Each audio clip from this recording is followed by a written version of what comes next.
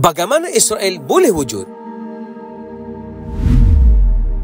Tahun 1516, Palestin menjadi wilayah naungan Osmaniyah yang diambil alih dari kerajaan Mamluk. Palestin kekal di bawah Empire Osmaniyah selama empat abad. Di bawah Osmaniyah inilah Baitul Maqdis boleh dilawati oleh Kristian dan Yahudi untuk beribadah. Namun Palestin di bawah kerajaan Osmaniyah berakhir sebaik saja Inggeris berjaya menjajah wilayah ini. Akibat selalu tertindas terutamanya di Eropah Timur, kaum Yahudi telah menubuhkan pertubuhan Zionis antarabangsa WZO. Pada tahun 1897 melalui persidangan pertama mereka di Basel, Switzerland. Mereka memilih Theodor Herzl sebagai presiden pertama. Tujuan utama mereka adalah untuk membentuk sebuah negara bangsa Yahudi. Idea ini berasal dari buku Herzl sendiri iaitu The Judenstadt atau The State of Israel. Yahudi melobi Britain melalui pemimpin Zionis Britain, Weizmann untuk menubuhkan negara Israel di Palestin. Akhirnya, House of Commons di Britain bersetuju membuat deklarasi Balfour pada November 1917 yang bertujuan menyokong kaum Yahudi menubuhkan negara sendiri di Palestin. Selepas deklarasi itu, berlakulah serangan tentera British bagi merampas Palestin. British di bawah General Allenby telah menawan Palestin dari Osmaniyah pada bulan Disember 1917. 1918 18, Palestin jatuh ke tangan British secara rasmi setelah Osmaniyah tewas dalam Perang Dunia Pertama. Kelemahan Osmaniyah antara tahun 1516 hingga 1917 memudahkan kejayaan Yahudi Zionis di Palestin. Pengisytiharan Palestin sebagai naungan British atau British Mandate secara automatik memberi laluan mudah kepada Yahudi untuk merampas Palestin. Setelah itu, bermulalah perpindahan besar-besaran bangsa Yahudi ke Palestin di bawah naungan British dari tahun 1918 hingga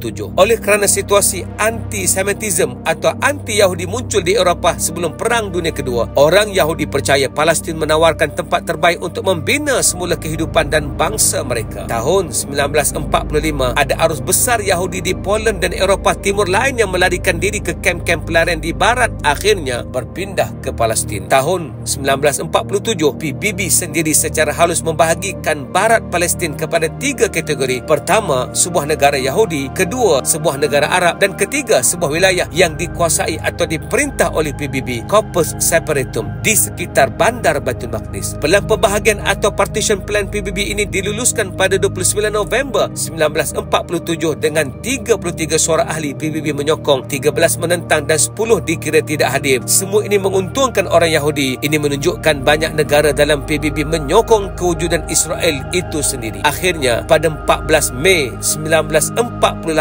David Ben Gurion Perdana Menteri pertama Israel mewartakan kelahiran negara baru Israel ini. Dia mengadakan upacara itu di Tel Aviv Museum. Selang beberapa minit selepas pembentukan negara Israel Presiden Amerika Harry Truman memberikan sokongannya diikuti Britain, Romania dan Uruguay. Dua hari selepas itu Soviet Union, Poland, Ireland pula mengiktiraf kewujudan Israel. Secara rasmi Amerika menyokong kewujudan Israel pada 31 Januari 1949 secara ringkas jelasnya penubuhan negara Israel wujud kerana kelemahan dan kekalahan Osmaniyah kepada Barat. Dunia Barat pula menyokong pembinaan negara Israel ini secara tuntas dan berlaku kelemahan pada kesatuan ekonomi dan teknologi yang dimiliki negara umat Islam dalam membantu Palestin. Oleh itu Allah mengarahkan kita menyediakan kekuatan wa'iddu lahum mastata'tum min quwwah dan sediakanlah untuk menentang musuh dengan segala jenis kekuatan yang dapat kamu sediakan. Al-Anfal ayat 60. Ayuh jadikan Palestin sebagai kayu ukur kekuatan umat Islam selagi Palestin menjadi negara Israel itu adalah bukti umat Islam sedang lemah. Bila kita berjaya mengambil kembali Palestin tanda kekuatan ini sudah kembali semula. Ayo bersedia membangunkan ummah Ustaz Pro. Assalamualaikum